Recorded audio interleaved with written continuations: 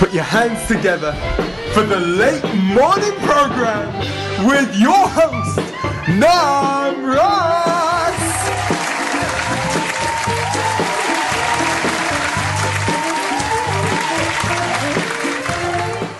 Hey.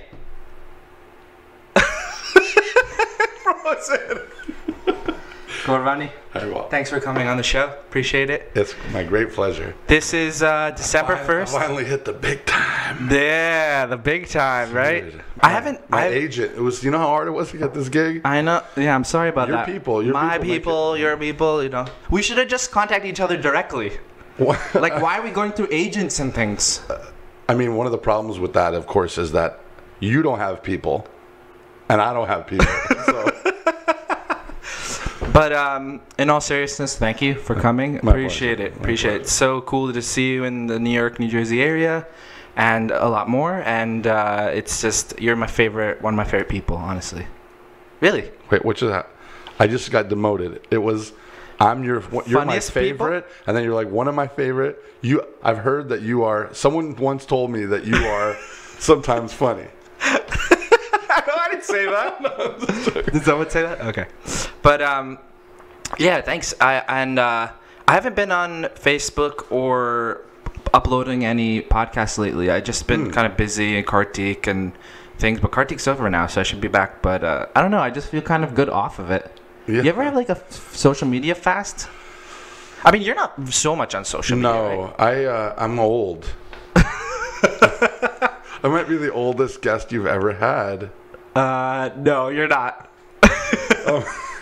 Yeah, for me, uh, you know, to be honest, when Facebook came along, it just was like. By the way, my kids think people who use Facebook are like ancient. Really? Oh yeah, What? What do people? my what do- kids are really like. I'm like, no, kids, be careful of social media. I don't want you using Facebook, and they're like, who uses Facebook? What do kids use? my kids think of Facebook the way I think of email. What? But I use email so much. I love sending gifts and stuff to people. like when they're like, Prabhuji, can you please come to this program? And then I send them like a, a funny gift, like sure or something like. What about when you have when you have to say no? then I send him a funny no one, like leave me alone or something like that. No, I don't do that. But um, That would be funny. it would be funny, yeah. Um, the uh, the uh, the way I think of email, I don't even know what we were talking about, but the way I think of email, Yeah. I used to be in film production, and Yes. people really take email seriously because a lot of information is transmitted. Oh, yeah, yeah, you yeah. know? And it got to be so much, like it's still I can't keep up. Like between my devotee community, my Mm-hmm. music stuff, Mm. the, like work stuff, it was just like this is hell. Like I have to sit in front of the machine 24 hours a day, or your phone. You've got to keep your notification on, like ping, ping, ping, ping, It's ping. too much. Yeah. So I, I started thinking of email. Anyone who knows me knows. I started thinking of email as a river that flows near my home. Oh, oh right. yeah. when You I told me this once. Yeah, yeah, yeah. When I need water, you go down to the river. you bring your little jug. Enough, just enough, simple, enough for you and your family. It's just for sustenance, for some puja, a little bit of water. Yeah. And then when you need more, you, tomorrow you go back again. You know. So good. So yeah, but but my kids, yeah. So Facebook, so social media. I never got that into social media just because uh, I like Instagram. Yeah, Instagram. I do some I do some pictures and stuff. Yeah, yeah. I like the artsy side of it. yes. Um, but uh, yeah, I don't know. Facebook isn't my friend. Facebook isn't your friend. That's like a Inception kind of thing. um. So I know more, most people know you, but Unless they're listening. I love Facebook. If Facebook is listening, please don't hurt me. Alexa's listening. Alexa, I love Facebook. hey Siri, I love Facebook. Did you hear that? You just said something. She's listening to us. Um, so usually what I do with my guests, I kind of give a background of like who they are, blah. blah. Most people know who you are. I haven't been in New York for a while. I've been traveling so much. I haven't been in New York for a while. And yesterday, two days ago, we went for a program with Radhanath Swami at the Bhakti Center. And the lady at the front desk was a volunteer. She didn't know me, and she like made me sign in. And she was like, "No, you have to give your contact." And like, "We're I'm sorry, we're registering everyone who's coming." Yeah. And people who were with me were like laughing at me because like, you know, yeah. Gauravani. They do their job very well. I- so kudos to them. I'm becoming unknown. Yeah. no, that's not true. But um, so you travel now. I mean, let's go. Let's move it back a little then. So you you went to Gurukul, Yeah. right? yeah. For how long? I went to Gurukula f- starting from the age of four Wow. till about the age of 10. So, not so long as far as some people, like some friends went all the way through high school, Yeah. you know? But um, uh, uh, those are pretty formative years from four till 10. Yeah. Think about, you know, Totally. I was mostly away from my parents during that time. Right. Right. This is where we flash up like a one of those single tear crying emojis. but not the laughing sideways emoji because that would be inappropriate. that would be really inappropriate. yeah, and if anyone's doing that right now, shame on you. Shame on you for doing the sideways emoji. Sideways That's like laughing when it's tears. really something really funny. Yeah. Then you put that one. Or devotees who are less savvy also do that for a lot, like when it's really sad. Like I've seen pictures like so and so Prabhu is passing away, and it's like sideways crying emoji, and I'm like, are they ecstatic that he's going back to Godhead? Is that what they're talking They about? They should put the laughing one and the crying one because because first of all we're we're sad of losing their association, but true. we're happy because they are going back to the spiritual world. That is true. But um, This yeah, is emoji higher, etiquette. the higher emoji etiquette. Vaishnav etiquette expressed through emoji etiquette. Emojis. Everything can be expressed through emojis these days. Anyway, you so you went to Gurukul and then um, and then you came back here and then you went to public school. My my new favorite emoji thing is is the japa, the the beads. Yeah, yeah, the beads. Yeah. emoji, and then the slash or the greater than sign and a skeleton. Like japa or die, or japa is greater than death. Oh, or chant and be happy was it like the japa and the One time, me and a friend um, from the Bhakti Center, we would set, we would make the a whole like uh, Krishna pastime in emojis. I would love to see those. That would be I should get those texts back. Like, like you know, there's a boar. There's a so we did Varaha. You should do them and send them out. You should send them out a series of stories. Like, And no, and then I would send it just along like seven lines of emojis, and I'd be like, "What What's the story, is this?" and then he'd be like, "Oh, that's like Hiranyaksha fighting Varaha, and then." Him dying, and then Hiranyakashipu's angry, and then it's, you can easily express it all. It's really awesome, actually.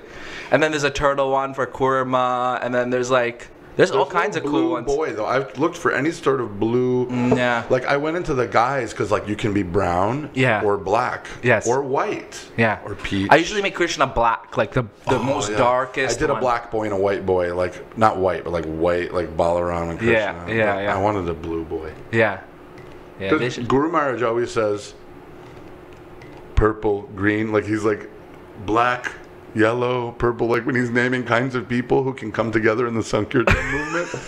Sometimes Purple? he says like green, purple. Have you ever heard him say that? no, I have. Oh yeah. Uh, I think I might have heard it. Yeah.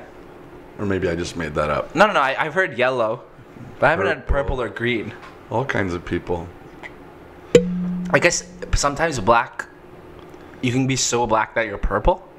I played football with a guy like that in high school. Yeah. Th- That's a good segue. You went to high school, public school. You, uh, you caught me on a linear, on a linear. Uh, yeah. So I, after Gurukula, my parents put me in a, a um, like a uh, private school for creative kids in Denver. Whoa, Denver. Yeah. So my mom married my stepdad when I was around that age, nine, nine. Right. And then, uh, so I started going to a private school, not not a devotee school, but like a creative school. Nice. And um, and then uh, um, after that, around 13, I moved out to Los Angeles to live with my birth father. And Right. went to high school out in LA. In LA. So I played football. It was an inner city LA school, like what? mostly black school in Los Angeles. Yeah. It was, it was a rough school. And you were in, you were there. Yes. How was that experience? Um, it was um, very formative. Hmm. Yeah. Um, it's funny because, you know, our dear friend Ananta went to a school that was mostly Jewish white kids. Oh. So he had we all we have shared this experience of being in this kind of like first of all we're devotees so we don't fit with any of like the people Yes, yes. but then we're like totally fish out of water in another way too Yeah. so yeah it was interesting the Rodney King riots happened when I was in Whoa. High was that school in LA. or something, right? E- 90, did a project on that yeah in 92 something like that Yeah.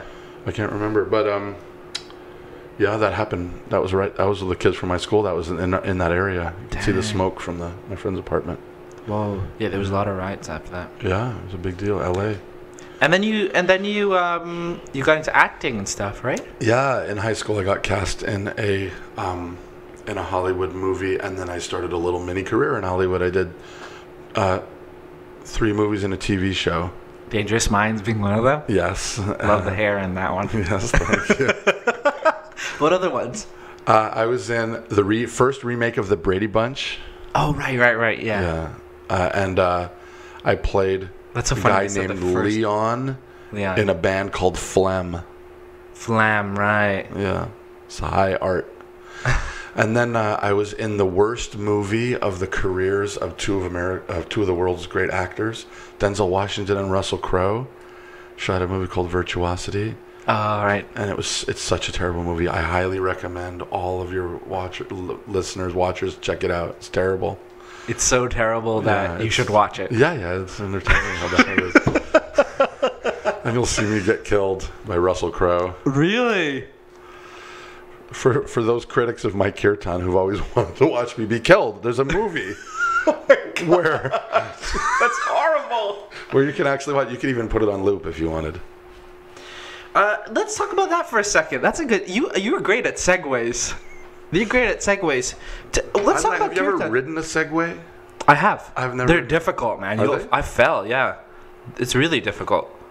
It's almost like a Segway is like a metaphor for bhakti. Razor's edge. I like that. Like if you don't if you don't do it properly, you'll just fall down. Yeah. Like literally, you'll fall down. um. So um, about kirtan, let's let's talk about kirtan. You're you're kirtaniya. I'm an aspiring Kirtaniya. Yeah, at the Bhakti Center on Thursday night, I did Kirtan before Radhanath Swami and Ananta. Yeah. Boy, I did not feel like a Kirtaniya that night. That kirtan was beautiful. They, the both of those devotees, No, no, yours was. That's the mood that you have to have. dry as a desert. No, no, no, no, no, And no. When, when Radhanath Maharaj started singing, before his first note, Maharaj was already crying for Krishna. I was like, wow, that's the way to do it. Right. Oh Yeah. man, I was like, My they- favorite. Just yeah. blew the whole kirtan, my whole my whole kirtan. It was just like a warm up. But do you ever feel like you did a good kirtan? Uh, sometimes, Yeah. but but uh, like uh, there was a this last year we were in uh, Radhadesh for the Kuli Mela. You went for that? Oh yeah, you went for that. Yeah. My family, Vrinda, and the kids, and and we were on stage with Hari Kirtan and Juggy from the UK. Yes, and yeah. this devotee playing bass um, from Radhadesh. Uh, I just met him, so I, I can't remember his name. Sweet old older devotee, mm-hmm. and uh, just everybody was so nice. And I just looked around and I thought, the just Krishna, take me right now in the middle of this kirtan. I'm ready to go. Whoa, What's- really? Well, what else are you waiting for? Uh, I've never s- said that before. Really? I mean, like, I need to go to the bathroom. Take me away from here right now. or I'm tired to take me away from here. Calgon, take me away. Do you remember that? You, are you old enough to know that commercial? No. Calgon, take me away. No, I never had seen that. It was like a bubble bath commercial or something. Like some lady had a hard day cleaning her house, like in the 90s. And she would pray to her bath soaps. Calgon? Calgon, take me away. and she would be rescued from the boredom of her life by Mahavishnu in the bubbles, the form of the bubbles of the Calgon soaps. What do you What do you think about when you when you do kirtan? Um, Prashadam. That's my secret. And what I think about when I eat Prashadam is kirtan. oh yeah. No, uh, what do I think about? That's a right. That's a really nice question. That's an important question, actually. Um, I like to think of. Okay, what do I like to think of, and what do I actually think of? Yes. Yes. Okay. What do I like to think of? I like to think of dressing the holy, na- the Lord, the body of the holy name with the melodies and the and the rhythms. Yes. I like to think of doing Shringar with with music to the person of Srinam Prabhu. Wow.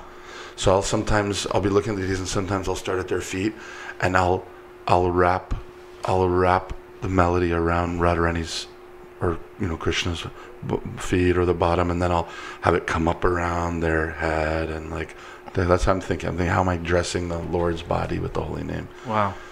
Um, that's what I like to think of when possible. And a little side note, I learned this great trick for getting awesome darshan years ago. Resist looking at the Lord's face for as long as possible. Really? Just try and look, Look at the for, at the feet, feet. for as long as possible. Wow, that's really cool. You get you get more blessing that way. You know what I do? I I uh, I look at the deities for a little while, and then I and then I look away for a while, and then I ask myself, what color are the deities wearing? nice.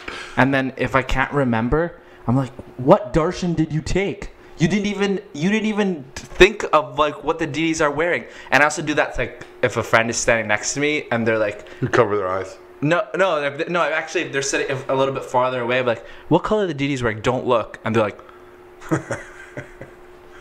Sometimes we overlook it. Anyway, that's a it's a dumb. Thing. I like that. No, I like that. I like that. I heard once Srila Prabhupada said, you know, Prabhupada loved common sense. Right. It's one of the things that makes Prabhupada such a special acharya in our line. Hmm. Prabhupada loved common sense. Yeah. And I heard once that Srila Prabhupada said, an intelligent man, if he's laying down, he's counting the beams in the ceiling. Whoa.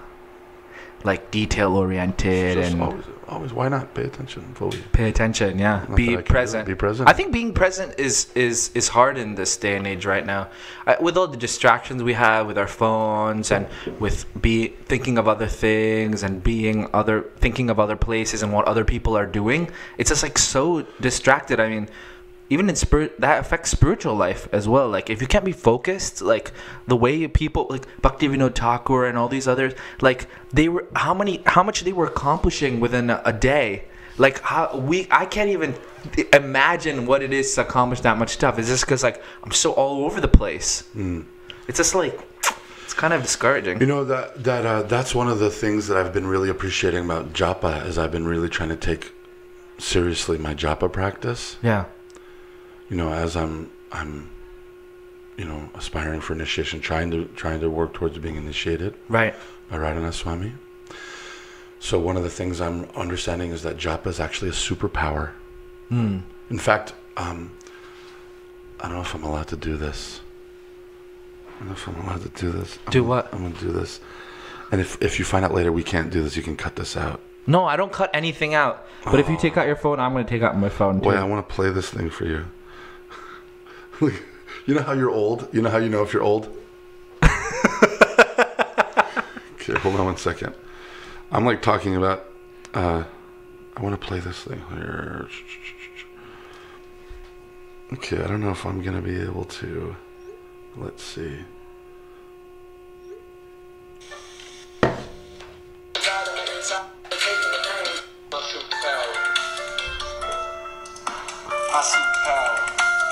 What is this So it's my superpower. Soul is my superpower. Superpower. So it's my superpower. hey that Oh, hey okay, that's hey, enough. that's, That's enough of that. is that Bali's Bali's new track. He hasn't even recorded yet.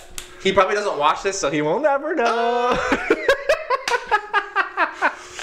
Yeah, I've been realizing that actually Japa is a superpower. I in mean, what way okay, so what is a superpower? A superpower is something that gives you an, uncommon abilities, abilities that are not available to the normal person, and lets you achieve incredible things. Right. So, what I realized is that japa done properly, not that we have a chance because we're also busy and challenged and everything. Yeah. But japa done properly allows you to use one of the many superpowers that comes from japa is it allows you to use your moment to its fullest potential. Because you don't have that much time in the day, bro.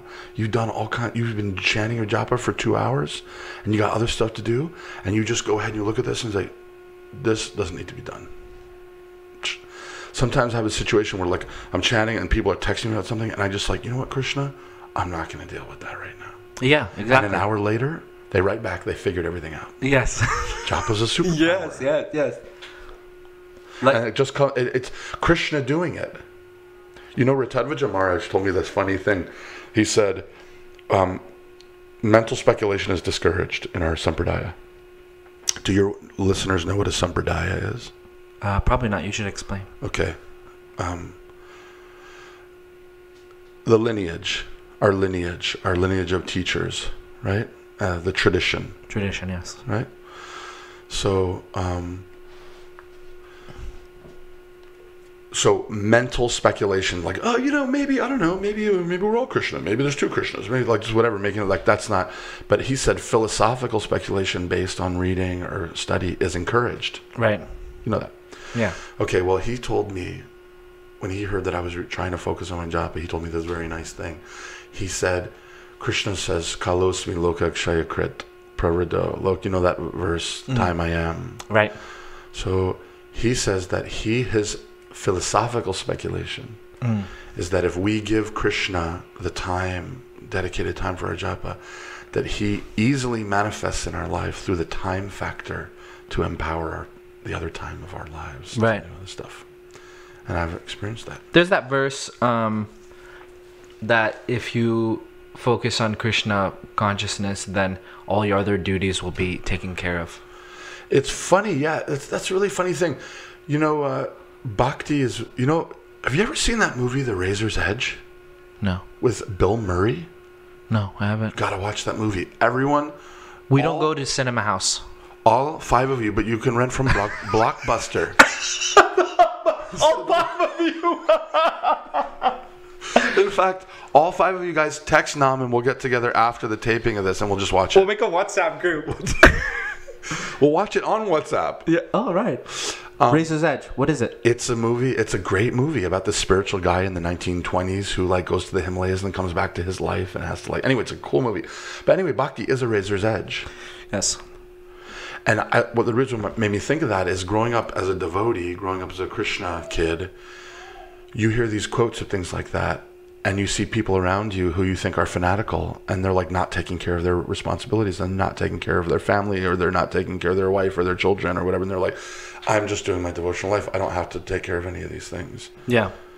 So it's like that type of quote was like, oh my God, that's terrible. But when you put that quote on top of someone sincerely struggling to take care of their family and take care of their responsibilities and be a kind person, all those things, and then on top of that you say, and yet if you do it your spiritual life, it takes care of all these things. Yeah. It what it does is not diminish the value of all the responsibilities. It increases the value of the bhakti.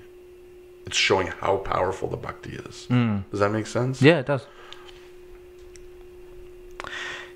But yeah. I mean, a lot of devotees externally, maybe in the long run, we can see that Krishna had his own plan. But in the old days, a lot of devotees suffered from mismanagement of finances, of energy. So, you know, it's a question like I would ask you how could you say that just doing bhakti, just doing spiritual things takes care of all your material? Well, it's kind of the say. It's kind of along what you were saying that you know, if you, uh, you know, Krishna makes that time for you, or he he allows things to happen like things work themselves out Mm. i'm i'm not for i'm not for like you know i'm just gonna sit here and chant japa and the bills would be paid Podcast for all day long. yeah yeah or the you know the tulsi's gonna water herself and the bills are gonna be paid and At least not that Tulsi. yeah not that definitely not Like that one the- that Tulsi. The other She one. better water herself. she better You know, you're gonna water her. I don't even know what that means. um but yeah i think that we have to make some attempt until we're That's such a nice point. I say this all the time. Remember that beautiful story from uh, the Journey Home Radhanath Swami shares about the panther loose on Mangar? He's with Ramesh Baba, and there's a panther, he has the stick a little, stick, Ah, what is that gonna do He says, "No, this isn't for this isn't for the panther. This is to show Krishna that I'm not lazy." that's such a good story i love that Great story. i love it's one that of my story favorite stories. So, long story short, for the viewers who don't know that story, I mean, you kind of said it, but Yeah, he's with this sadhu, saintly Yeah. person living in this rural mountain in Vrindavan, in Varshana, living on this mountain, and the villagers are all freaking out because there's a panther loose. And In it's the area. nighttime, and they just sleep out in the open on these little cots. Yeah. And so he's going to bed, and he's like, "I heard there's a panther loose," and everyone's like freaking out. So then the this this he's he's the the saintly guy is sleeping with this little stick. like a tiny stick. Yeah. And what's it for? Is that for the panther? no. What is what use is this tiny stick against a panther? this is to show God that I'm not I'm not lazy. I'm going to do my part. Yeah. Right. Yeah, it's I mean, could have he, he could have found a bigger stick. a little late. He was maybe a little lazy. He just looked for a short stick. no, just joking. No, yeah, I mean, uh, you know, I heard a nice quote from Srila Prabhupada that Srila Prabhupada said a Vaishnava is like a duck. Whack.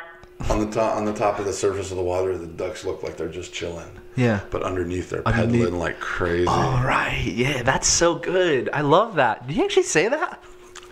Well, I heard. I heard guy- that a guy said that that he his cousin was at the temple. No, no, no. His cousin was one of the ladies married to a guy who used to be a, a, a crew member of the Scindia Steamship Company. Oh man. and he overheard Prabhupada talking to himself through the door of his compartment on the Jaladuta. As they were approaching Boston Harbor. Yeah, right at his. Yeah. Um, Actually, Prabhupada was composing out loud the Jaladuta song. right. Yeah. And he happened to be Bengali, so he could understand. Right. Um, do you ever face like? Because I know you used to work like a regular job. Like uh. like you used to be a. You used to. Isn't, Pr- Isn't this guy one of the funnest guys there is? oh come on! Oh stop it! We haven't even gotten to the good stuff yet. So like you know you used I to. I want to ask him questions. Come on. What No. questions do we want to know about Ram? I'm Nam. This guy, I love him so much. Ram. Ram Nam. Ramnas. Ramnas. Ramnath. Okay, no, no, listen. I'm doing the questioning here. How long did it take you to style your hair this morning? Is didn't it a take- short thing? What? Is it a short time or a long time? What's a short time? Your the hairstyle. Short time. I just comb it. And and the facial hair. Is this for Chaturmasya? No, no, no, no. It's just I'm lazy. Uh, because in this one, it's like the afternoon with the five o'clock shot. no, no, no. That's not five o'clock. That's like three weeks. Oh really? It grows so slow. This is like one, two months. Oh nice. Okay, listen. Do you um like you know you you used to work as a movie producer, Right. Like for the government. Director, producer. I've done. I've worked on both sides of the camera. Yeah. I've written, I've written, helped write devotional stuff. I've written professional stuff, History Channel, Discovery Channel. I've directed, um, you know, uh, for documentary. I've directed That for sounds super interesting. for for Hollywood films. I worked with a devotee named Mukunda, who's a very talented writer, Oh, yes, yes, yes, and he uh, um, he directed and wrote a movie with Paul Walker, and uh, I did the late Paul Walker. the late Paul Walker, who got a Bhagavad Gita and came to Kirtan and Prasad before he passed away. No. Where? Yeah, in South Africa. Mukunda hosted him. We gave him a Bhagavad Gita. He he ate prasadam and we did kirtan together, and he really liked it. How much later did he die? Short time. What? Yeah. That's so cool. Not that he died, but that that you you know got you know we that you um, had a kirtan program with him and stuff. Yeah, for sure. He was a pious guy. He, um, it's interesting. Yeah. Uh, so what I was saying was about your, you know, you have dedicated your life to kirtan, Yeah. like fully. Uh, no, that's not totally true. You know, I'm a musician. You're I'm a an musician. artist. Right. I'm trying to dedicate my life to Krishna, Right. And I have musical talent sometimes, and I want to use it in Krishna service, just like I want to use also any other talents that I have in Krishna service. Like, for example, my good looks and my fast growing facial hair. How long is that? I shaved like just before I got in the car to come here. Dang. It's And already I may I may run out uh, during the interview and shave. again. Yeah, so I don't see. You know, I, there was a there was a time where I was really criticized on social media. Facebook is not my friend uh, about some of my kirtan stuff. And the funny thing is, people didn't understand because no one ever talked to me. Of course, only talked course, to each no, other. no, no. The the thing no one understands is I don't really consider myself a kirtaniya. I consider myself an aspiring kirtaniya but I am a musician. That's how I see myself. And that, you know, just like if we heard one day that Beyonce started liking kirtan, Yeah. like everyone be like, "Come to the temple, Beyonce. We don't care what you do. Be outside of the temple. You can eat people." Or whatever, as long as you're famous, come to the temple. We yeah. love you. Yeah, yeah, Because she's an artist who's trying to do suddenly feeling attracted to Krishna. yeah. So that's how I consider myself. You know, that I am also a famous and beautiful black woman. No, not that way. Sorry. That that I'm that I'm a musician. Right. and then I'm just trying to use talents in Krishna service. And so I make no claim that I chant Shuddhanam. I don't chant Shuddhanam, the pure name, like that the holy name is descending. But I want to. Right. You know, I want to associate with wonderful people like you. One of my favorite singers in the world, His Oh, Holiness stop it. Das. Oh, stop it. I mean it. I love your voice. Can we sing a little together on this show? sure. We should sing something. Later. We'll sing later. Yeah. Um, yeah, I remember that time when you were getting criticized. I remember that. I think. I think. time. You know, to be honest, I think I was on that bandwagon too. Really, I'll be, let's just be honest. I was. Did did my does my agent know this? The, your agent. This is off. This is uh. I, I, I they signed everything. They signed everything for this interview. This is a real talk. Hashtag real talk. I appreciate you. I appreciate you being honest about that. Uh, I, I I was, but it's just it's just because I was immature. You know, I have I have um, I learned a lot from that period. Tell us tell us know- about it. Well, I don't know how much detail people know or how much I can get into without just making Just- it boring. No, no, not boring, but just like okay. Basically, you were criticized for. Who's that? Um, my agent, bro. Sorry, this interview is over. No, it's not over. Hold on. Now this interview is over. No, no, no. Oh, Oh my lord. This is a highly professional affair, and I gotta tell you, I am just uh, wowed by the production value. I mean, the tea is fantastic, the conversation is pretty good, and the camera work, I mean, out of this world. And uh, the speed at which the doors are answered here is second to none. I mean, at my house, you know, we don't answer the door. I don't even think we have a doorbell. We actually don't have a doorbell. So, you know, production, serious, serious business here. Serious business here. oh, sorry, that was my neighbor. Great examples, great Vaishnav examples of television uh, production. What are you talking about? Me and uh, the, The crew, me and the crew, we know. So, what were we talking about? Uh, we were talking about. Um, oh, No, no, no, other way. wrong way? Okay, this way. Is that okay? Keep going, keep going. Hey, Govinda!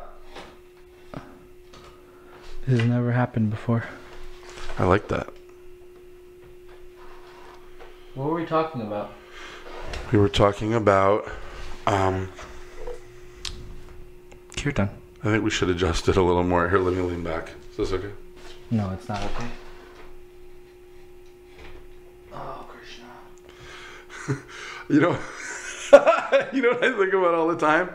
Basically, Krishna thinks that I think he's like a cameraman and like a fix it guy and like a parking attendant. Because I always call Krishna's name when I need stuff done. I'm like, oh, Krishna. Like, Yeah, yeah. like I do I do Hanuman for parking. oh, that's. Because Hanuman a helps you find things. Hanuman helps you find things. Krishna Park. We, we've had this conversation before. Really? The Battle of Kurukshetra, Krishna drove a chariot. Have you ever tried to parallel park a chariot? Krishna is Parkeshwar. He doesn't par- he doesn't park the chariot. What, you think Krishna's just so proud? He just like throws the keys. He's like, you park that. He made Arjuna park it. He can't. Krishna can't get off the chariot first. It's going to burst into flames. You read your Mahabharata. Arjuna has to get off first. He tells Arjuna to go save him a plate at the prasadam line, and he parallel parks the chariot. Krishna's at, he's circled. You know how many times he had to circle the block looking for a spot? You know, him and Arjuna at the far side of the battlefield, and they're like, you know, fighting Jayadratha. and Didn't the sun's Indra- going down, and like, Did Indra give him that chariot? and all the like, all the like. Did Indra get in the chariot? Someone get someone gave him the chariot. Like I would think that if a demigod was like had like um a request for another demigod to, like Vishnu who, who's it, um, Vishwakarma to make a chariot, he's like, okay, listen, it's got to be really nice, gold and everything, but you have to like, if I press a button, it's got to turn this big and I can put it in my pocket, For sure. right? So I don't think you need to park it. I'm sure there was some kind of like thing regarding It was like it turned into a matchbox car. Yeah, I always dream of that when I'm like Krishna half an hour. on his turban. They were like, there's like a little- There's a little. They're like, what is that? oh man. yeah. So, uh, so there was a period of time. Well, uh, you know, I don't want to name names, You don't have to. but basically, what happened was there was a period of time where certain devotees had decided that they didn't like the way I was running my program. Yes. and they went to a senior devotee and they started complaining about me. Yeah. And then, you know, kind of like gathered his responses. Yes. And kind of posted it to the world, I remember. Yeah. you know. And um, um, for me, it was actually one of the hardest times in my life. Really? Yeah. Because, you know, I grew up in the movement and I grew up thinking that people who maybe came from various backgrounds who didn't have a unified mission, that it's okay for them to have misunderstandings with each other. Right. But for those of us who grew up in Prabhupada's movement, we should be better. We should see, we should encourage each other. Mm. And I, one of the things I used to say to people at the time when I was getting really discouraged is, I mean, really criticized, like, I do lots of things wrong. Like, criticize me for something I'm actually doing, Right. Right. not this, which I'm trying to do the best I can. Yes. Yes. Like, criticize me for eating everything bagels from time to time. Right. This morning before the podcast with Namarasa, Right. you know, That that's a good point. You know, so so so it really discouraged me. But I'll tell you something that happened to me that I still can't. I still can't figure out how to understand fully. Radhanath Maharaj gave a class in Vrindavan where someone actually asked if the kinds of things that me and Vishwambar and other people were doing were. I was there. You were there. Mm-hmm. Vrindavan. Do you do you know if there's a recording of that lecture? There. There is. Can you help I me know find the. it? I know the date too. Can you help me find it? Uh, I'll help you find it. Yeah. Do you remember what he said? Someone asked a question specifically about I took second initiation that day. So I was in a, like forever. a I was like a different um in a different space. Okay, well, we got to double check the lecture, but what I heard secondhand from people. Yeah. And you want to say what you heard or what you remember? Um no, but I could verify what you're saying. Okay, so please verify because uh, what I remember hearing Yeah. is that Maharaj named me, you know, or that it was named in the question. Somehow or other was named. Mm, yeah, I think I kind of remember that. And then Maharaj said that actually what we were doing was just as glorious as what other senior devotees who are trying to hold the name down, you know, as a steady service, just as glorious as what they're doing. Right. Because we're doing what we can. Right. because we're using what ashram we're in and the situation we're in and being in the west we're doing all these things and still trying to support our families and keep doing it Yeah, yeah. so it's the same Yes. And when I heard that Maraj had defended my honor, this ties in with, you know, Yeah. and uh, other conversations we've had, that Maharaj was putting himself on the line in a public way to defend my honor and encourage me, knowing that it would be so encouraging to me. Yeah. It it began healing my heart. That was the first kind of big shift I made, and I Wow. thought if Maharaj is willing to encourage me, then I I'll just keep. But you heard this from someone who who told you this. Yeah, you need to listen to what he said. yeah, I'd like to hear. I, it. I'd have had to. I'll find Please. it. I'll find it for you. I'm very grateful. February seventh, February twentieth, two thousand and eleven. I believe was the day. Anyways, I'll find it for you. Great, thank you. But yeah, yeah, it was. Uh, it was a weird time. I think everyone was a bit immature. Yeah. I, And the- I, I, you know, I'll speak for myself. I was definitely immature. I, you know, when you come when you come from something like when you think yourself as like basically when you're not humble and you're like full of pride, you think you're doing the best thing, and then you're and if you're really kind of neophyte and you think that, then you just want to drag everyone else down and like take everyone else down and I'm doing the best thing and everyone else is doing everything wrong, you know? And now just like I feel like now, you know, being a father, you know, being married, all these things like experiences that I've had, I just feel like so humbled, like Yeah. extremely humbled. yeah, Not that I think I'm I'm humble or anything, but I just feel like there's a real deep, like a real a real humility that's developing from that.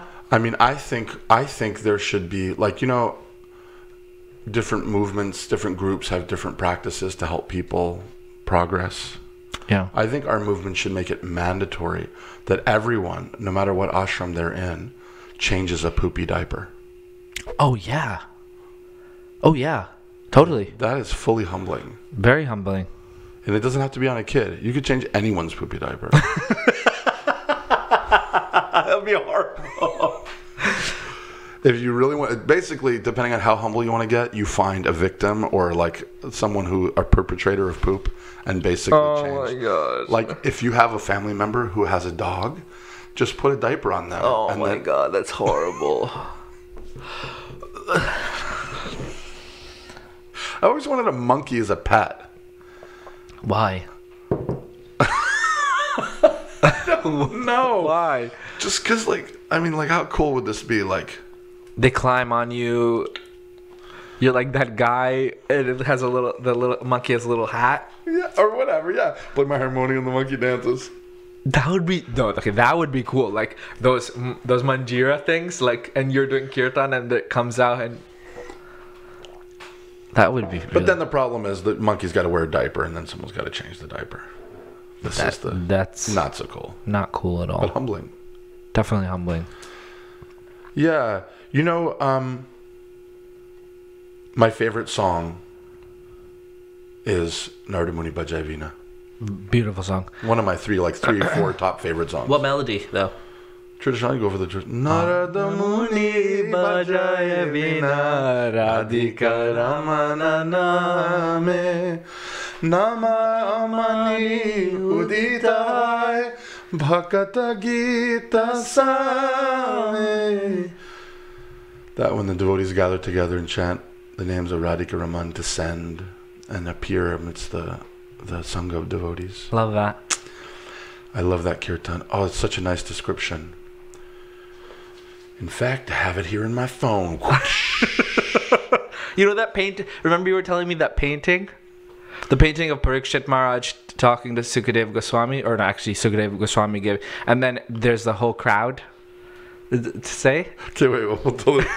Okay, so what we were saying was, we want to heckle. You know, like you know how heckling can be so important. Like you know, have you Roasting. seen- roasting. Have you seen that? Like, like, uh, what was it called? Like the space, like the sci-fi guys who heckle all the old sci-fi movies. Have you ever seen them? Like, No, I haven't. There's like a comedy show they used to have on Comedy, comedy Central where they would sit there and they would. Did we lose our one viewer? No, no, we're.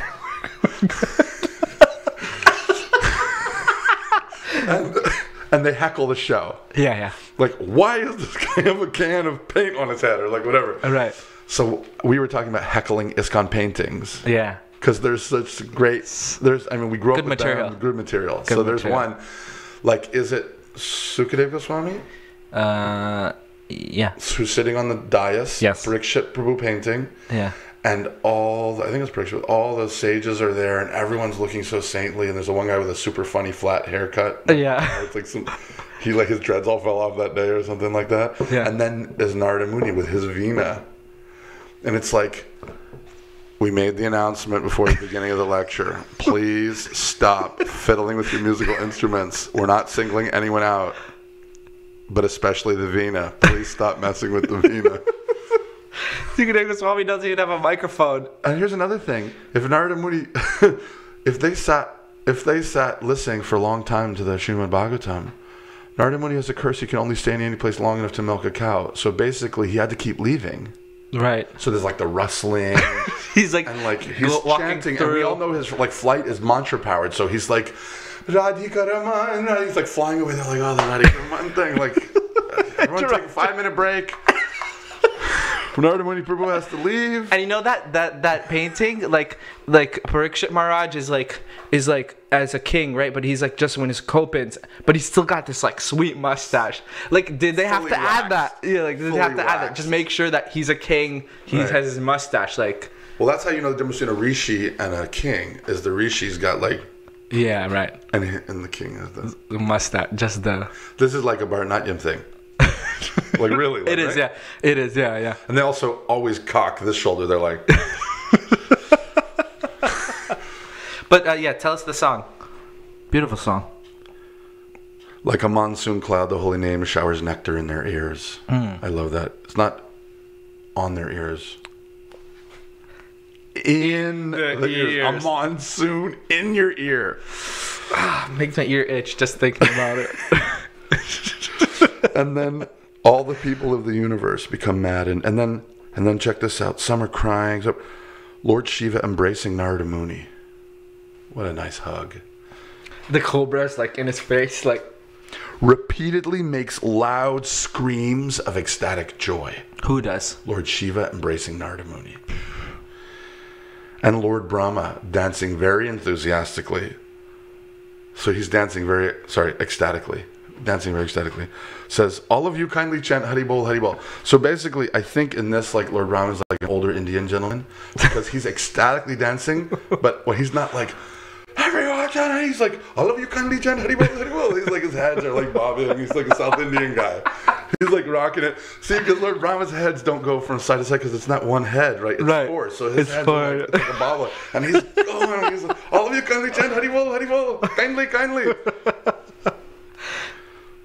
I find it funny that when they always they always have a beard for Lord Shiva, but there's a painting that where he doesn't have Lord a beard. Lord Shiva? You mean Lord Brahma? Lord Brahma, sorry, sorry. Lord Shiva never has a beard. no, he does. I've seen pictures. Oh, the, like the old Indian one. ISKCON, you ever right? see that? ISKCON, no, no. Funny, ISKCON Lord one. Shiva, like, does he have a razor?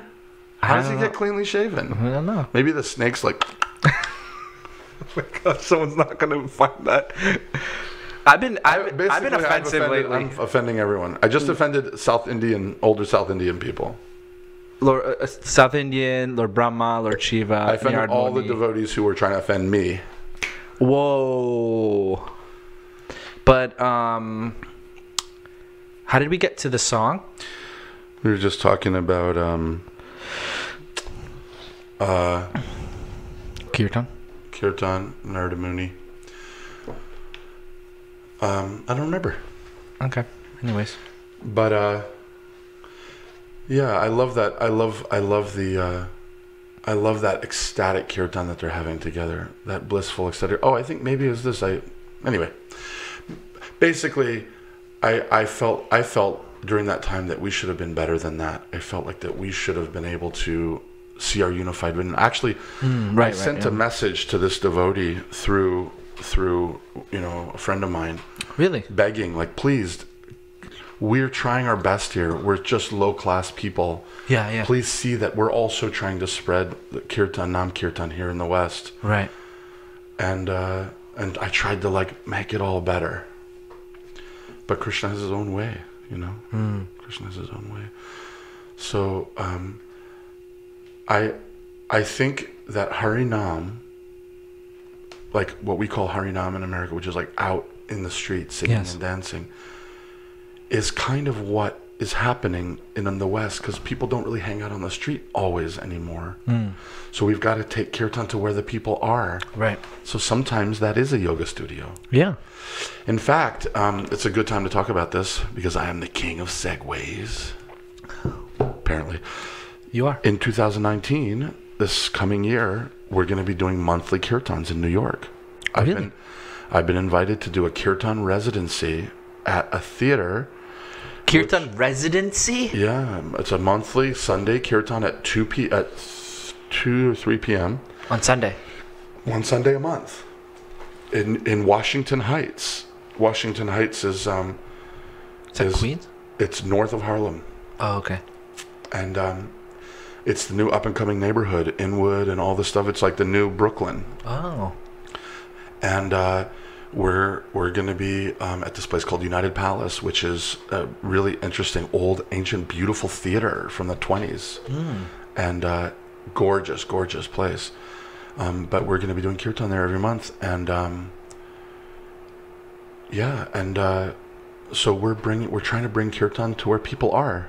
Definitely. Definitely. Appreciate that. It's a great, great service. Um, so, what else? you're a tough. You're a tough guest. Let me just say that. Why? I just so many things to talk about. So let's just So many things that you can't even.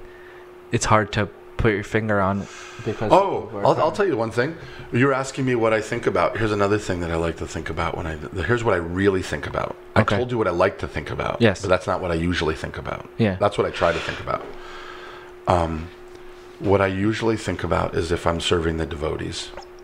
Oh, that's nice. What I usually think about is, are the devotees losing their attention? Should I change here so that it brings everyone back into focus? Yeah, that's good. Or I think about, um, am I keeping the rhythm steady so that the devotees can dance? Yes. They're already dancing, so should we keep it now here just as long as possible so that they can dance? Something I always remember you telling me Mm. is that if you're do, if you're leading a kirtan and devotees are dancing, you can't stop. Yeah. You told me that once, and that re- that struck me, and I was just like, "That's so true." Now, whenever I sing and devotees are dancing, I'm like, "Oh man, I can't stop. Gotta keep going. Gotta keep going," because you're you're like assisting them You're in their assisting. ecstatic. You become das and a das. Right? Yeah. I love that. So now it's my turn to interview you. No, no, no, no, no. A few more things. A few more things. Um, what do you think um, is the way forward with ISKCON in North America? Um, you know, people think you're funny, but your show is incredibly serious. Really? Yeah. Sorry, did I touch your foot? No. I like these serious topics, but you know, I think it's wise to leave them for later in the show so that people who are really serious listeners can get into them. really? You should give a little. We're already dance. later in the show. Yeah, we're, yeah. we're an hour into the. No, no, no. Exactly. That's what I mean. I think this is good. I think you should have the more serious questions Later. Don't spring them earlier, because then people don't get to know. Like just banter, banter, little song and dance. I and see, I then see, I yeah, think yeah. it's smart. Good point. I think it's a good, good. It's a really powerful and important question. I see. And I want to hear it from you, being like someone who, uh, you know, I like interviewing devotees who are kind of like out in the in the world, who who who are interacting with people. Like I had Brajananda, this the book distributor, on the other day, and I was like, "Is book distribution dead?" Like people are saying that books are not, you know, what's going forward, how to preach and things like that. And this and this devotee, he's like at universities like all year round. Like he meets tons of kids every day. Mm. So I wanted to know from him like what you know what is it about that? So like similarly like you meet people all the time. That's what you do. You you go to you know yoga studios and other places and you meet Music people music festivals. festivals and things yeah. So like obviously something to do with kirtan. I don't know maybe it's not. I'm but i'm but i want to hear from you. Like what is it so what's the question again? the question is, uh, what's the, how do you see ISKCON going forward in North America specifically? In North America. Yeah, because other places, you know, we, we see it going forward. Um. All right. Well, I'm gonna tell you. I'm gonna surprise you. Okay, I've got this wacky idea tell me. called the Vaishnav Collective. Mm-hmm. I think it's really important. I have a few things that I think about often. Yes. Um, We have a problem in our society with finances, Oh yeah. and I think I have a solution. We tried this. We did a dry run of this, and it was wildly successful. Really? Yeah. It's called Vaishnav Collective. And what you do is you start a local fund, invitation only fund amongst friends. And you make a commitment to join the fund. It's invitation only, so it's like you and whoever you want is allowed to join your fund. And you make a commitment to join the fund of giving whatever amount you want. It's up to the people who make the fund to make their own rules. It could be a lot or it could be a little. Like it could be a little to encourage everyone to give, but you have to give it for the entire year. You aggregate your money and then you vote with the members of your fund where that money gets spent. Well, that's pretty cool.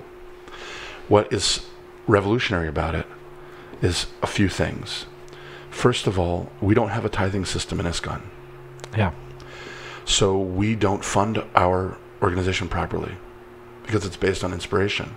Hmm. So unfortunately, very charismatic people get funded, and people who don't hit the pavement and fundraise like that don't get funded. Hmm. That's not right.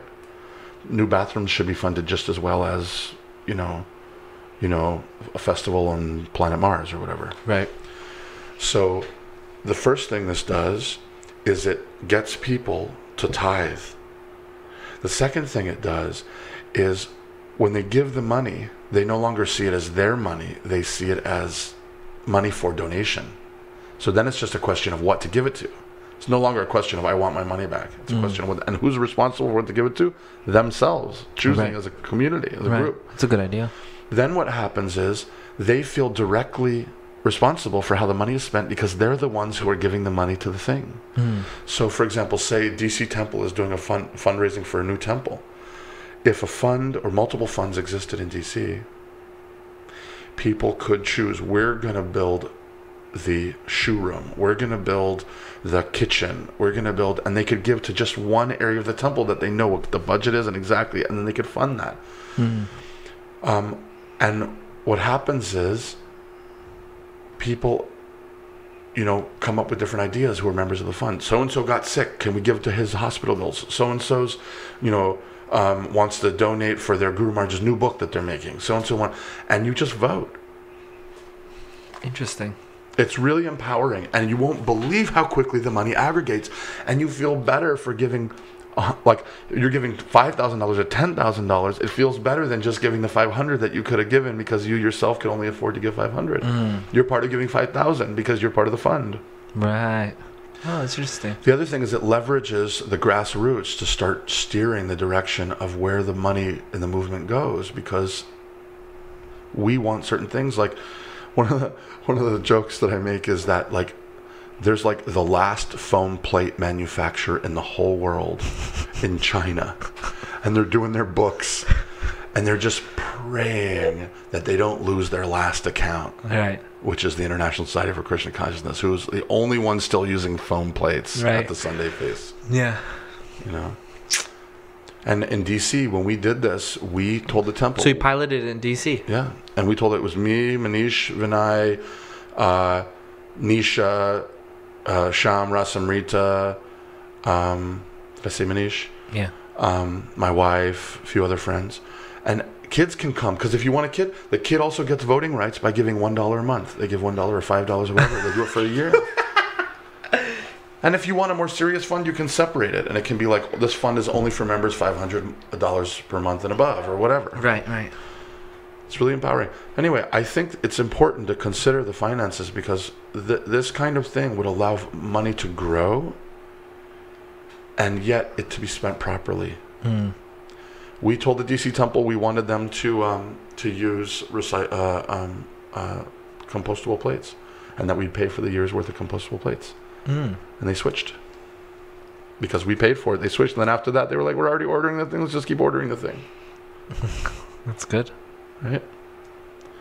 So that's one thing I think needs to ISKCON needs to get to get its finances in order. We need better systems for taking care of each other and devotees in North America. It's it's um the the the finance wise, it's like every temple is kind of autonomous. Right. Uh, I don't know the exact legal structure, but Like they don't affect the larger. No, I think temples are autonomous. I think that's Right. part of like you know what gets challenging sometimes. Yeah. You know, legally. yeah. Oh yeah. But I think uh, I think temples are autonomous. I, I think though that a lot of people find like I think there's tension between the temple presidents, the local temple authorities, and like the GBC and the gurus because and the grihastas, because there's no clear sense of where the money's supposed to go. So everyone's scrambling to try and like Yeah. get their projects funded. Yeah. So what I like about this Vaishnav collective is, first of all, it's scalable. Second of all, it gets the money donated already. Then it's just a question of where to spend the money. Mm. And who gets to choose to spend the money are the people who it's money it is in cooperation with people who have viable projects. So what if they can't vote on it? Then you split and make another fund. It's completely voluntary. You only invite the people to the fund that like the same kinds of things. Let's make a fund that only funds DD dresses. We always want new DD dresses, you know? Mm, mm-hmm. Turbans only fund. you know, we only give to the turbans for the DDs. Right. Flowers fund. You know? It's really scalable. I, I, I think I really think it could solve some some some issues. And I think more importantly, what it does is it gets us off our butts financially and starts get, getting devotees to really start taking responsibility Yeah. and gets us involved. Some things that I always hear from people who are not part of ISKCON is like, ISKCON's all about money. Oh, did I say the wrong thing? No. Should I have talked about like, um, you know, like more Tulsi growing or like? No, no, no. That I'm not saying about what you said. I'm just saying that um, that Grow in the green. you know that we don't really focus like it's it's all about like growing um you know the temple making big uh, palatial temples and doing all these things but like the work the real inner work. I mean you can't say that about ISKCON as a whole as a whole of course you can't. That's just immature. But uh i don't know i just hear that a lot that who who do you hear that from? like um like friends uh Congregation members. yeah i do hear that from congregation members yeah So they might feel that okay they're getting hit up for money and like this is this would solve that. There's no more hitting people up for money. right That's part of what's going on. Part of what people have to understand is, as far as I can see, we're moving into a new phase as a society. Um, Indian-bodied devotees who Yeah. I've grown up with have a culture of charity, yes and their families have a culture of charity. Like Christian people have a culture of tithing. It's like a different culture, and it does the same thing. But in Indian culture, people don't like to tithe; they like to give to things that inspire them. So we are in this interesting place, and this is the next thing that I would love to chat about sometime with you. Is um, this thing about how to find a way to harmonize the different segments of our society racially, economically, culturally, geographically, so that we're working together, not working apart from each other, you know, against each other.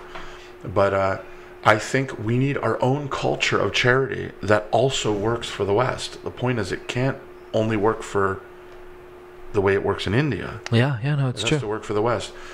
I think uh, I think we're in, in between things right now. We need we need our own little system. What I like about this also is it keeps the money outside of the movement, the institution, until it's used. Hmm. Do you know what I'm saying? Like the money's not given to ISKCON, right but it's given to the fund for ISKCON. right right It gives the, you know, one of the things Radhanath Swami is pretty exemplary at is that he's always allowed the grihastas and the business people to maintain the control over the finances of every project that he's ever been involved in. interesting It makes life more difficult for him, but in the long run, it makes it better for everyone, right in my experience. uh, going back to what you were saying about you know unifying you know things um Homogenizing is gone. Right. Someone told me. So I was talking to someone, and they were saying how an idea is that we have this has worked in other places that separate separate temples for different uh, women in Australia. I think all women should move to Australia. right right And all brown people who speak Spanish should move to Spanish Harlem. I don't buy it. I think it's. I think it's not. It's not realistic. really well, let me let me tell, tell you more about it so so the, so the The idea that I don't agree with. Tell me more. Yeah, tell. Uh, uh, yeah, so you in the morning uh, on the at the temple, you have the Indian program, Because Indian people like getting up early. and then and then all the And Indian people. someone's got to hustle, there's spicy. be There's, them. there's there's there's class in in Indian. Okay. Because India has one language. We all know that. there's class in Indian. There's food that's Like Indian. Native American. Did you see that comic I made? yeah. Did you see it? I think so.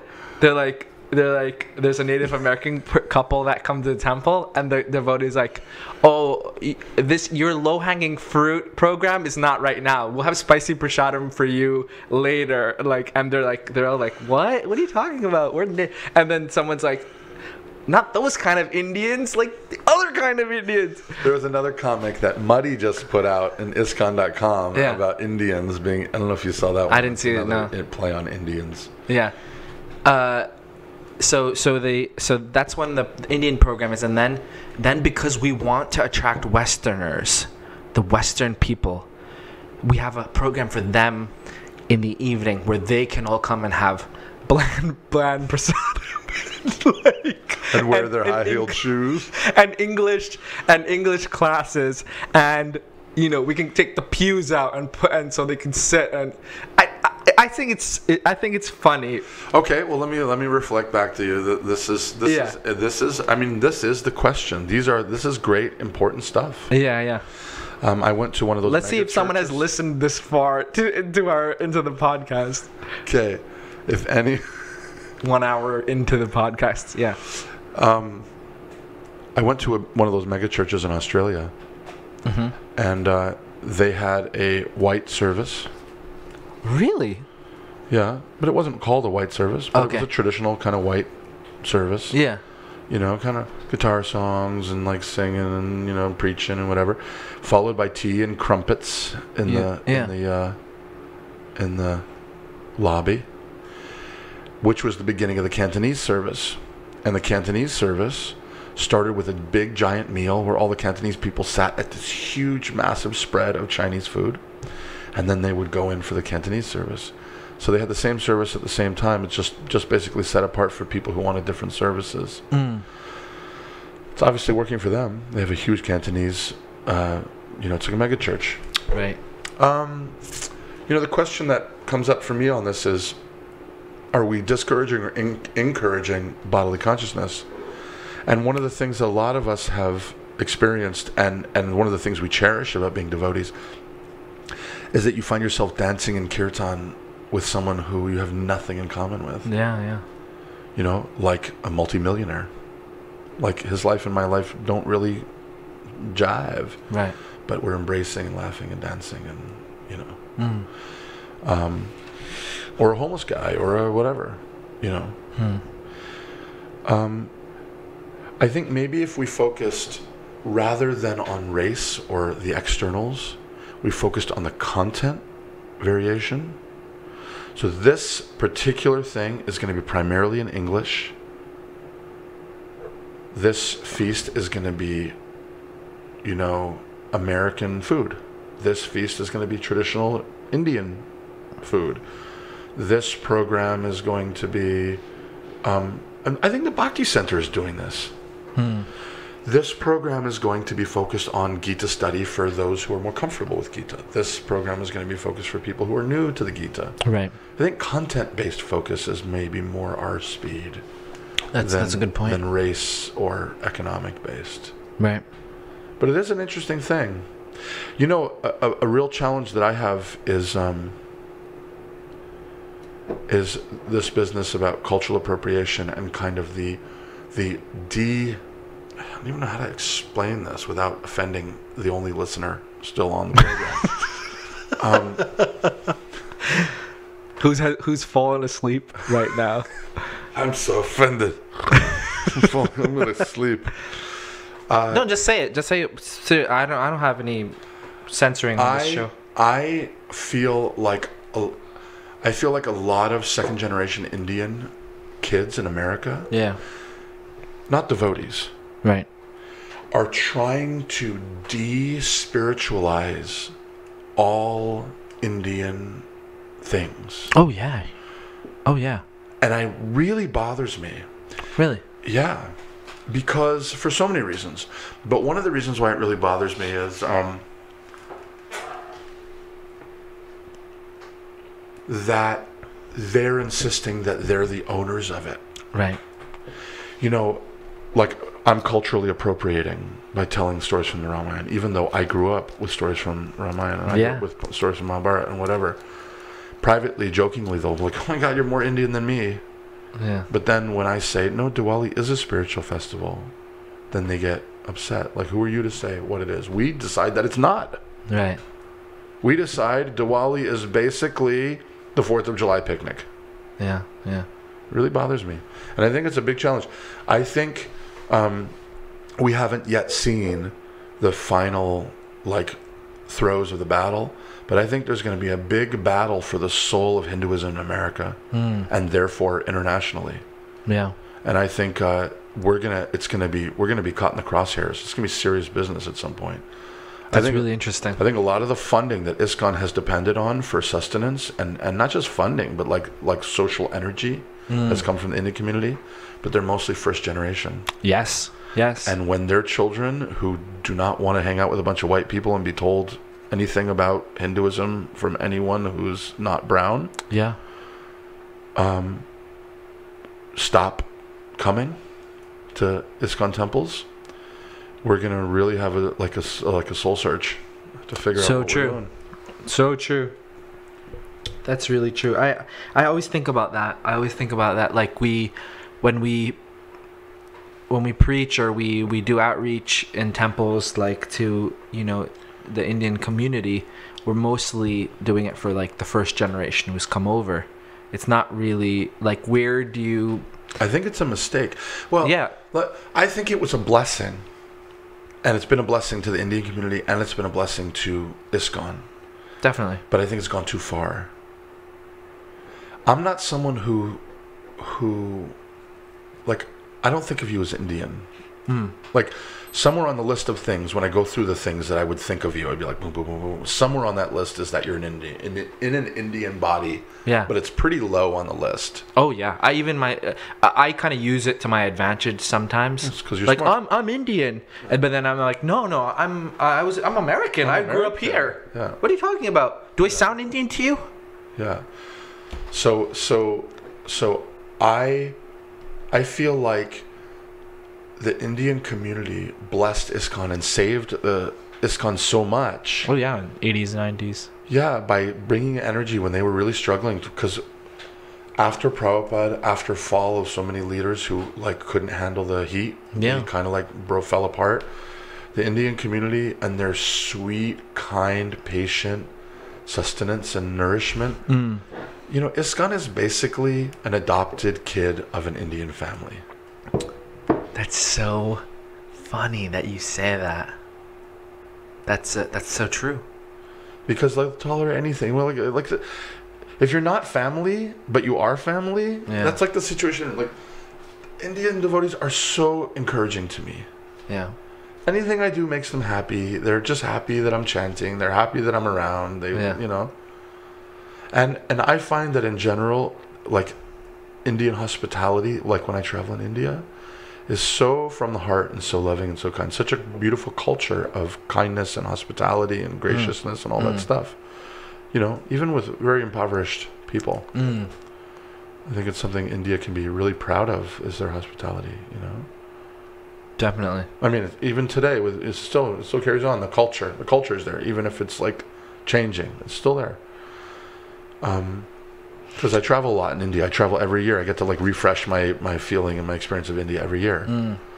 But um, but I feel like I feel like we made a mistake because for example, taking the analogy further, which is just going to confuse everything, but it's okay. Taking the analogy further, say, um, say I'm bringing a new product to a market somewhere, and I'm alone in this new country, and I'm ha- finding a hard time to like make friends, and I find a family who takes me in and encourages me, and helps me like be happy and be feel like I have a family in that country or whatever hmm. they still may not understand the product themselves. Just because they're kind doesn't mean that they are the ones who can tell me how to sell my product in that country. Hmm. So I guess why I'm saying that is the Indian people who came to America to find wealth and prosperity and peace and you know opportunity don't necessarily know what Prabhupada was trying to bring Oh, to- totally. I agree. so our primary responsibility is to Prabhupada for his vision. Hmm. And I think we went a little too far in trying to accommodate our foster family. Mm. Like our foster family took us in. Mm-hmm. Like we mm-hmm. owe them mm-hmm. at least two decades of our life. Yes. And that's a real thing. It's not something to be, you know, sloughed off. And yet, we still have a responsibility to Prabhupada, mm. our, you know, father who gave us this product that we need to distribute. Yeah. So finding that balance, it's a thing, you know. Can you give an example of where you feel like it's gone too far in that direction? Like a practical example. I mean, most temples that you go to in the world, people think Krishna consciousness is an Indian thing. Right. But Srila Prabhupada never presented Krishna consciousness as an Indian thing. Right. It wasn't not an Indian thing, but it wasn't an Indian thing. That's my point. Mm. Everyone is welcome to come as they are. But people who try and amalgamate Krishna consciousness with with cultural Hinduism or race, you know, identity, they're missing the boat. It's not that at all. Mm. You're not any more qualified to be a devotee of Krishna if you're in an Indian body than you are in any other body. Right. Good point. Vedic culture. I mean, that's the other thing that people don't understand. See, I think people struggle for identity in America because American culture is so insidious. I think is the right word. Ubiquitous and insidious. It just like bleeds into everything. Yeah. You know, I was just thinking about this the other day. Like, there's a general stereotype that men are dogs and they like sex and they like women hmm. and they like to to kind of like talk about sex with the other men mm-hmm. and like so what's happening with President Trump? It's like it's okay that the president's like this because everyone's like this, Right. Yeah. right? That's like a generally accepted quality for men. But where does that come from? I would argue that in a lot of ways that's coming from American media. Like, who says that men have to be like that? Mm. Who says that all men enjoy taking advantage of women privately? I don't know that that's a universal truth. Hmm. I, I think you can say it's a universal truth, spiritual truth, that everyone takes advantage of other people. That's what that's like what we're working on. Yeah. But the idea that that so I was just thinking about this the other day that if I'm say I'm a Vietnamese immigrant and I come into this country and I want to be accepted by my white American friends, all I have to do is act like the way they act on television and they'll accept me. I have to drink. I have to like womanize a little bit. I have to like work hard. I have to, you know, um, whatever, you know, you know, you know, like you're you have to choose what group you're part of, and like there's the, the us and them, whatever it is. Like, who says these are the rules for existence? But if you accept them, you are welcomed into American society. And it's dangerous. And I see that happening with the second generation Indian kids. You know, people who are anglicizing their names so that they're easier to pronounce. And and and um, secularizing all Indian holidays, and um, basically, it's the same thing the Jews did when they came to America Right. after you know during and after World War II. they tried to homogenize. And the people, the children, see, this is the funny thing that's going to happen in my prediction. The children of the second generation secular Indian people Yeah. are going to become spiritualized again, just like the children of the Jews did, because their parents are like, "Why do we go to the synagogue?" I don't know. That's what we do. Well, why do we believe this? It's because you don't ask those questions. This is what we do. Same thing that happened with the Catholic.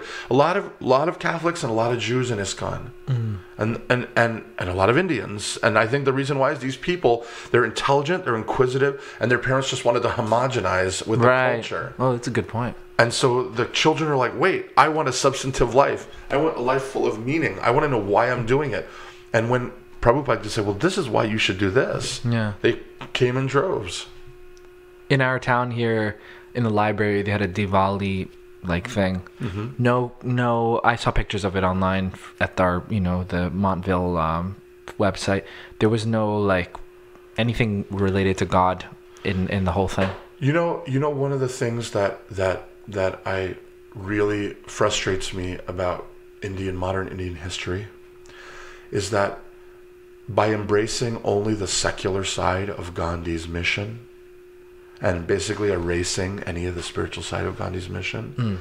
and then embracing him in connection with Martin Luther King Jr. and then eh, not embracing any of Martin Luther King Jr.'s spiritual side but only embracing his secular side mm-hmm. we're basically taking the icing only.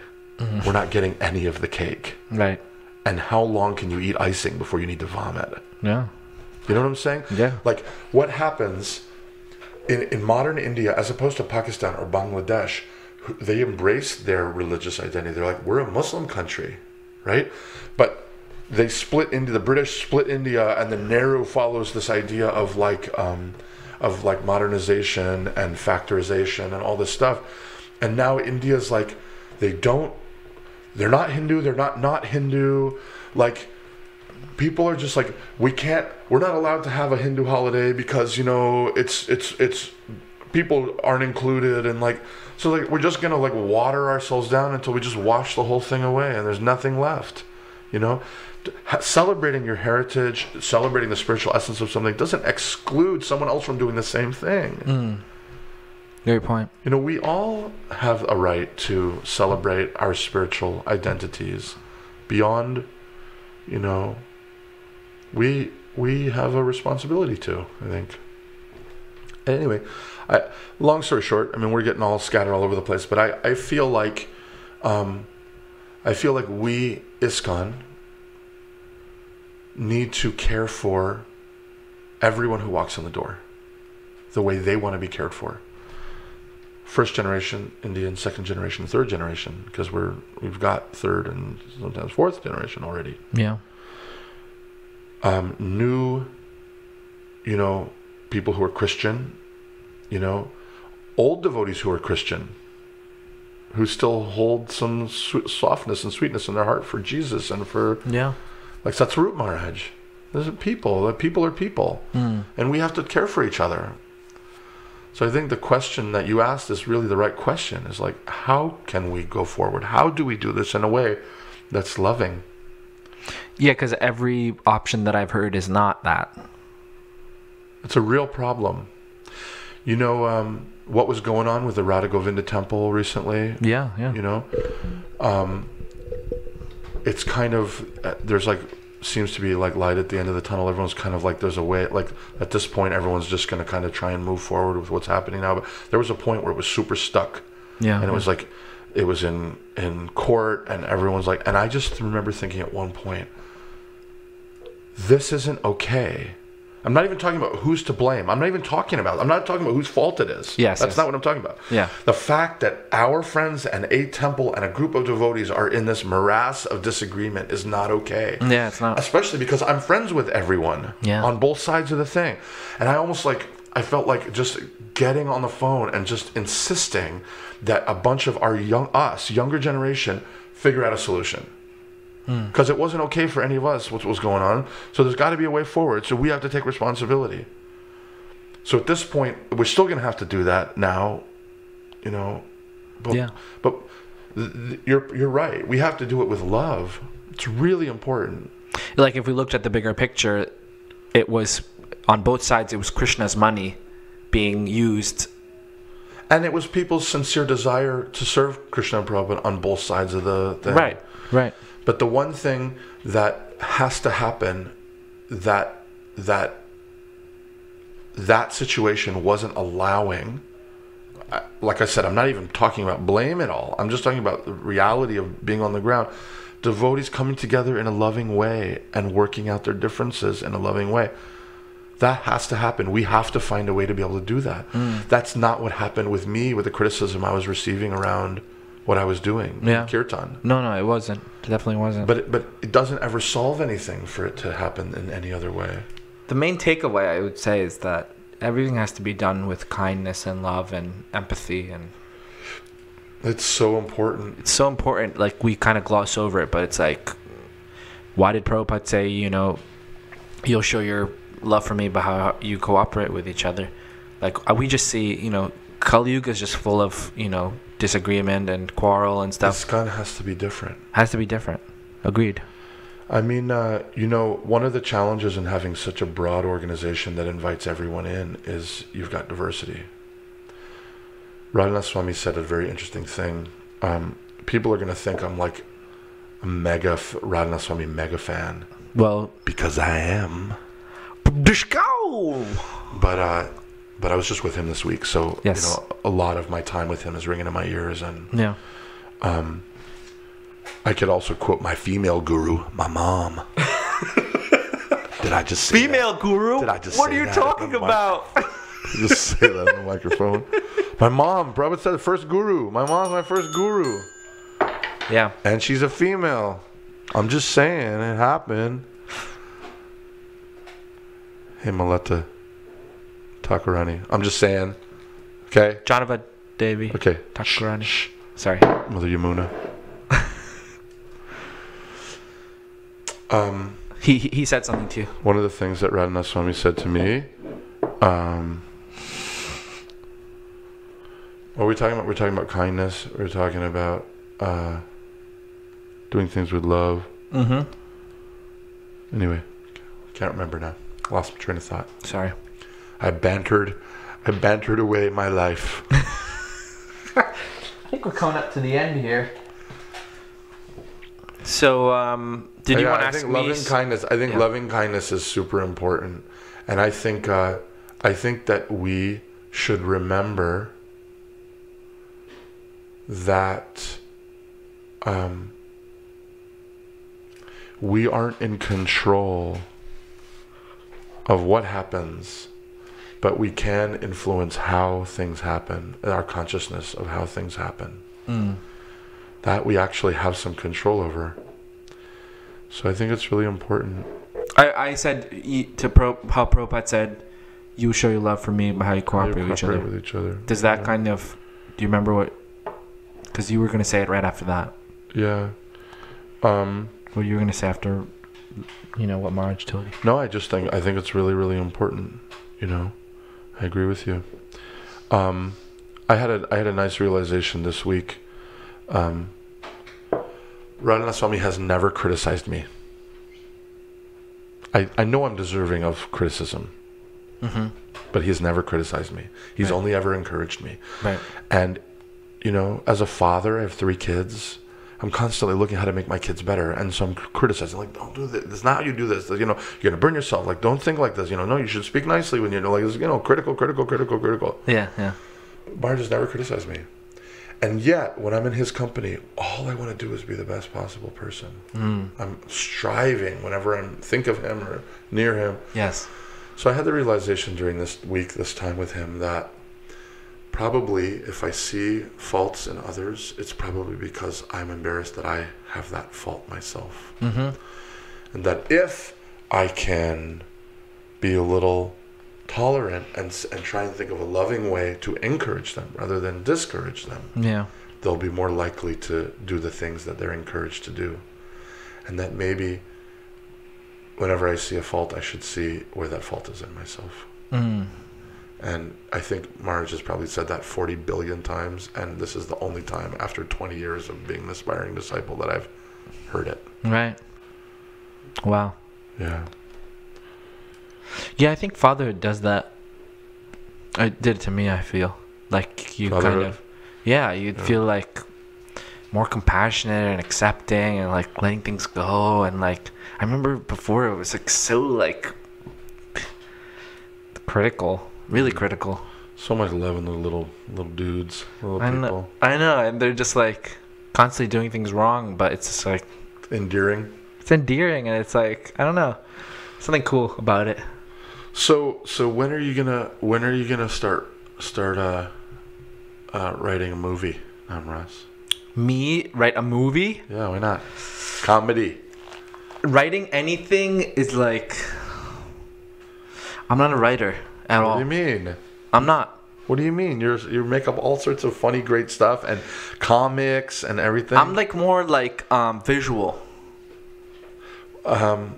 I would have to sit with someone and I'll be like, um, and then he does this. Okay, okay, that's good. That's that, that's right. What about what about? Tell me about your process for making up your comics.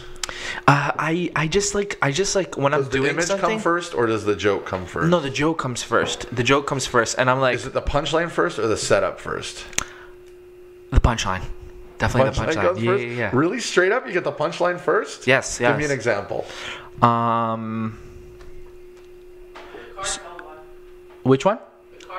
The disembodied voice. Oh, the one I did. The one I sent to you of is that like an old auntie from the past? Who's speaking? the Akashvani. Akashvani. It's an it's it's an English lady who doesn't even sound English. Does Akashvani? does Akashvani speak like Amitabh Bachchan? Or does Akashvani like a like, like, Nerdy. like nerdy like ah come say you fool? She's Ah, Come say ah, the eighth child's gonna kill you. It's like annoying. Akash- Like Akashvani. Stop talking. What if Akashvani's like Australian and we can understand? Ah, come together wait for my accent. Nice to meet you. And they're like, and they're like, what Did he say? What did he say? Listen very carefully. Wait, I missed it. Akashvani. Say it again. Um, yeah, the punchline comes first. Like for this one. That, Barry White. Yeah. yeah. are you gonna interview me or you're just gonna continue to banter? Tell me. Cartels. Yeah. So so um, so I always thought the word cartel sounded like cartel. Right. So then I was like, Especially with a Jersey accent. yeah. So I was like, Cartel, cartel. Yeah, so I made the comic about you know Bhakti Bob brings like all these like rough looking people behind him, and the temple presence at the door. He's like, Bob, I meant, I said the temple needs a new pair of cartels, not cartels. And then all the gu- all the guys with guns and like face masks are like, what? Okay, fine, and you like go back. Basically like that. But I think of him. I think of him at random times. Yeah. Uh, but you know, a lot of it gets ruined. Like my creativity gets ruined, like for wanting likes and comments on Facebook. What, you're trying to get more likes? Yeah, I'm just like I put it up, and I'm just like sitting there, like watching, like Dude, nadanam, najanam, nasundaram, kavitam jagadishakam. I have no desire to. accumulate wealth, I have no desire. beautiful women's I have no desire. Accumulate likes. uh, followers. Any number of followers. This is look, Lord Mahaprabhu. Chaitanya Mahaprabhu. He He's the man. Forecast. Kali that. Yuga. Avatar of Kali Yuga. I mean, come on. Followers. Dude, no, any number of followers. Yeah, you shouldn't do that. You should do it. You should. I know that's why I stopped putting them up, and I'm off Facebook, and I, I just do them in my book now. Uh, we're gonna compile a book. Oh, good, good, that's- we're gonna put it. Uh, we're, we- do you remember the karma free? You become a literary man. I've moved away from pop culture. I've moved to the ivory tower. Yes. Yes, I guess so. Publishing. Publishing. yeah. Cool. That's great. The printing press is the Brihat Mridang. Facebook is the Brihat Mridanga. yeah. But anyway, I love it. Well, you're so talented. We love your work so much. thank you. It, it's something I, I, you know, I'm excited about. I like doing comics. I like doing memes. I love doing, the- you know, just things that people make people laugh, just lighthearted. Yeah. But s- sometimes I feel like it changes people's conception or perception of me. Hmm. Like that I'm, like that I'm just always joking, and I, mm-hmm. like I, I caught, caught some flack for you know some of the memes that I did. Like I made one about Ritviks, and mad people like oh, message me like really seriously, like you know they're people too, and and you know they're devotees too, and you should you should be more Should respectful. and I was like, it's a roast. Be- should do one of a mannequin in the window, and Devotee's like, "Is that a Ritvik?" And the other one's like, "No, Ritviks are people too." Uh, Christians are all Ritviks. Every Christian is a Ritvik. Yeah. Yeah. So are most of Except they South- don't make South Indian Sri Vaishnava. except they don't ma- make magazines based upon the other Christians and criticizing them. Sometimes they probably do. Back to Jesus. Maybe. Yeah. Well, they do. There's a lot of churches like the real church, real church of hot on fire Bible love church. But that's like like people Not don't your church, church. Right, right. Yeah. That sounds south though, right? everyone, everyone, we always like to, everyone criticizes everyone all the time. That's the that's the name of the game in Kali Yuga. Yeah. Criticize each other. That's how you get more likes. Criticize other people. Right. Anyway, Well, you're doing a wonderful job, thank you. and um, and your kid's super cute.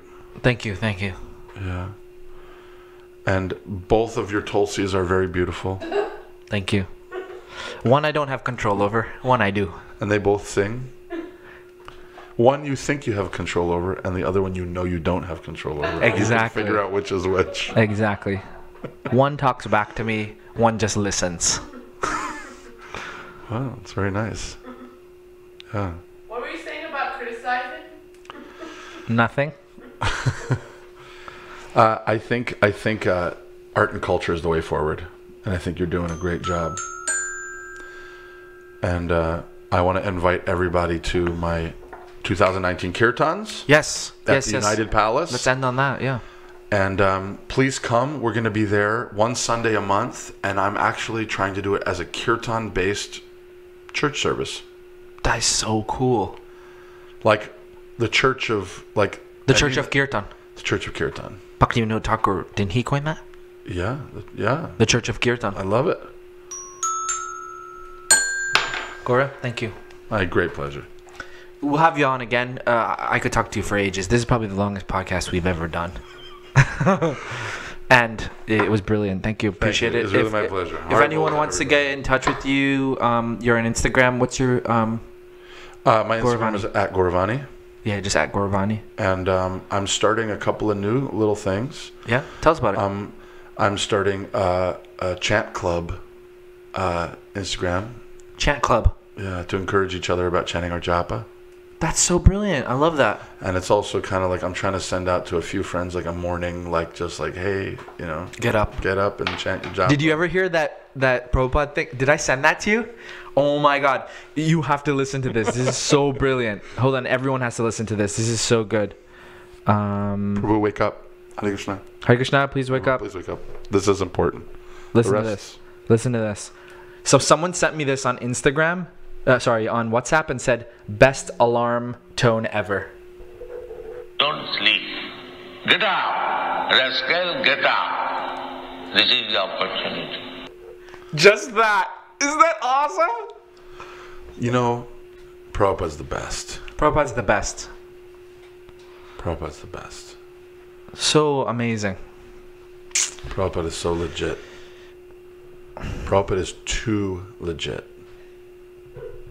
It's just uh, you know, I can hear that story over and over again, and I have the same reaction of like how he was like only four people were there to see him off, and and one of them Three of them three of them were the Scindia, Scindia yeah right, company. and he got on, and then his son was like, I cried, but because I was so proud of my dad, like. And then Prabhupada gave him 40 rupees because he said, I don't think I'm going to need very much money in America since they don't use rupees anyway. Yeah. And it happened to be the exact amount of money that his son needed for the Ayurvedic medicine for Prabhupada's heart attacks that he got from the shop and sent. I was thinking during that time, like if someone, if a devotee was a really good swimmer, they could do like a fundraiser to do the same route that Prabhupada did, swim from India to America, like through the um, Suez Canal and all that stuff. Mike, wouldn't that be cool? Totally doable, I think. Yeah, because you know when they when they do long distance swimming, they do it in a cage with a ship. Oh, really? Yeah, they swim in the cage. But I don't think any human has ever swum that far before. It would uh, basically be proof of the power of Krishna consciousness. Yes. you know And if if the devotees started complaining, they're like, "I think I'm dying. I I might be dying of a heart attack." We'd be like, "Just think of Krishna. All the demigods and all the avatars are rowing A boat. a boat, carrying you. S- Keep swimming. Keep swimming.